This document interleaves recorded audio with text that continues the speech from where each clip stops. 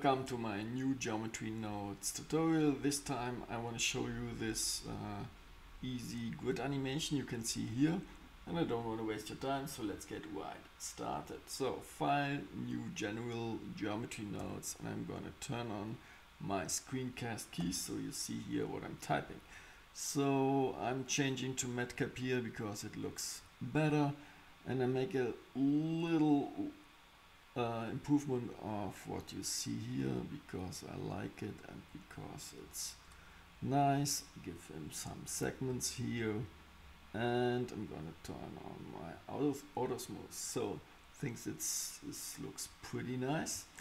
And now I'm gonna hide the cube. Next thing I'm gonna do is I'm gonna bring in here a plane and I turn on geometry nodes. Then I'm gonna add a mesh primitive which is not a grid, no, it's a line because I think it's easier to handle. So now the group input node got here uh, a new input value which is an integer and we call it columns whoops and another one and we call it rows.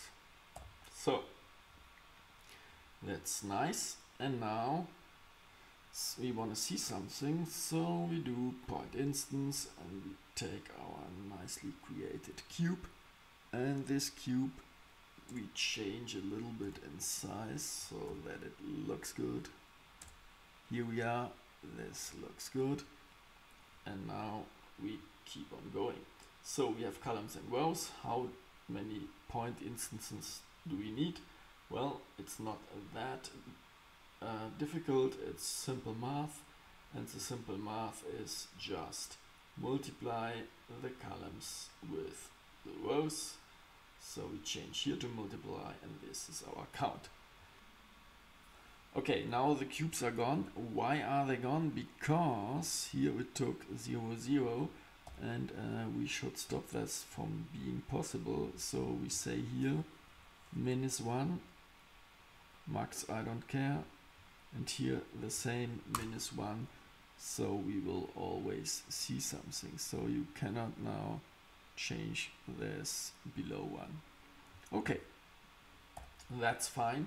Now we want to do the positioning of our cubes. Why did I took a line? I explain it right now. It's because then I have a simple index. So I can index each box and I can tell this is my box 0, 1, 2 and so on. And this I do with the help of this that value. That's why the values are going up here. And I can say this is index 0, 1, 2, and so on. And I can use simple math for it. So I'm gonna do attribute separate x, y, z. And I take the position, which every point in geometry has this information. And then I take x, y, and my index. And my index is now 0, 1, and so on. If you mute the point instance, you will see here the value 0 up to multiplied columns mal rows. And yeah, that looks good. Great. Now, next thing I'm going to do is I want to um, change the x position that they are here um, distributed on the x-axis. How do I do this? Well, I take again attribute math node this time I take modulo. And this I'm gonna take the index. And here I need a float. And I just take uh, my rows here. And the result is my x value.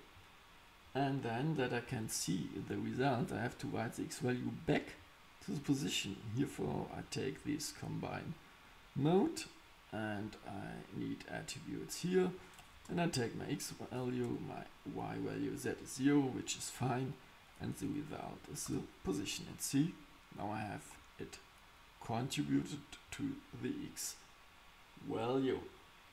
I take this a little bit down so I see whether it works. Yes. Four rows. No, that's wrong. So I take better